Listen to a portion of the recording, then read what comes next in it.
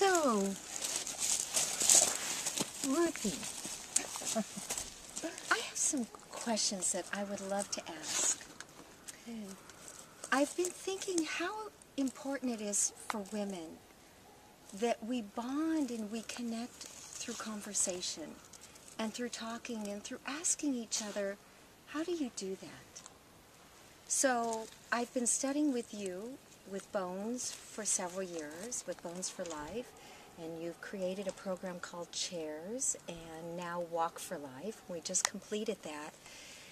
And yet, I still have some questions to ask you about where your beauty comes not just from the inside, but tell me a little bit about your health and your life of what else you do that helps to keep you healthy that we can share with all the women that watch and listen to this. Well, you want all my secrets. I would love, I'd love a few of them. so first of all, it's movement, Un- undoubtedly.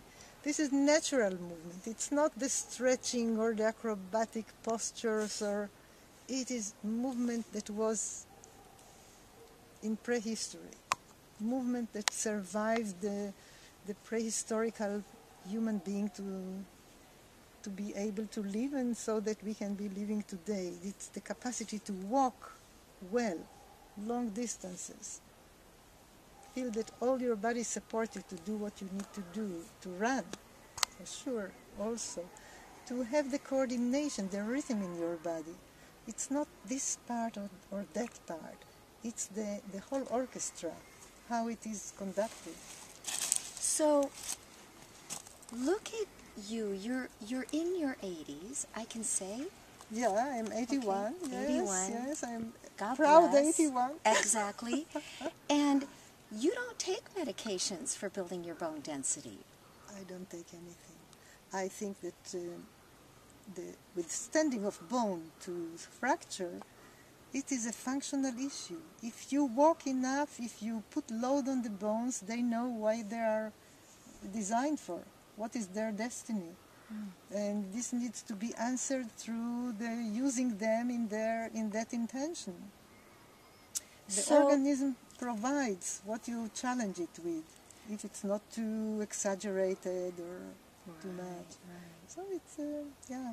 Now, is there anything that you do in your health with your eating that you think supports that? Maybe.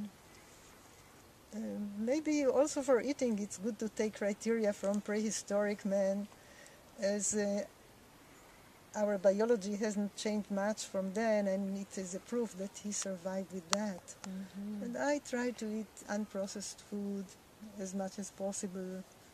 Um, I read the China study of Campbell, Dr. Campbell, and I and I do it more than a year. I feel it really gives me a lot of refreshing feeling. Giving up these uh, animal proteins, especially the ones that are grown in agriculture today, Right. that Right. they get all the uh, all the medicines, and because we are what uh, what the animal ate, we eat what the animal ate. We are what they ate. Sure. It, it, it's the truth. Yeah. Um, do you add? Do you add other things? Do you? So you work. I take vitamins. I take vitamins now. It is, I can say, more than 35 years. I take standard processed vitamins, and you know they are not isolating one element or another. They condense real foods, so they keep the proportion. The the body knows how to read it. But uh, but mainly it is really the movement. I do movement more than 50 years Thank you. Thank you.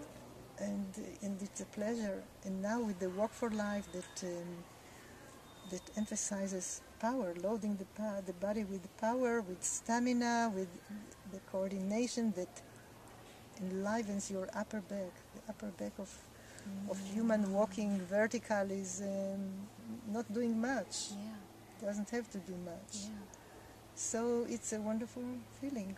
Wow. Ruthy, thank you so much. you can go to um, www.bonesforlife.com and you'll find more out about Bones for Life. And are there any other websites you'd like to send people to? Oh, there are many websites for Bones for Life, and uh, there will be Walk for Life very soon. That's right. Sure, there And a is um, Facebook page. Movement Intelligence. This is our umbrella, Movement Intelligence. How we um, retrieve from the body its knowledge that is covered with so many habits and cultural Mm. ways that uh, don't let this intelligence to come up. So we detach from the habits and what comes up, it's wonderful. This is the difference of what we do. It's not that we teach the body to do something right. That's right. We provide it with varieties. This is how a baby learns. Exploring different varieties, begin to appreciate, develop their judgment mechanism, what is right, and then the body knows. It's amazing. And that's part of what the big part that we were given when we were put on this earth.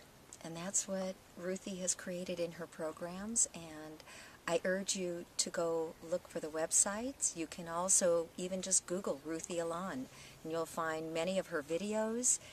And you find the teachers everywhere. and you will find teachers, teachers, yeah, everywhere it. around the world now. in three countries, in 30 countries it's now. 30 countries. Yeah. Ruthy, thank you. Thank you. For sharing. Thank you. Thank you. Wow. Wonderful.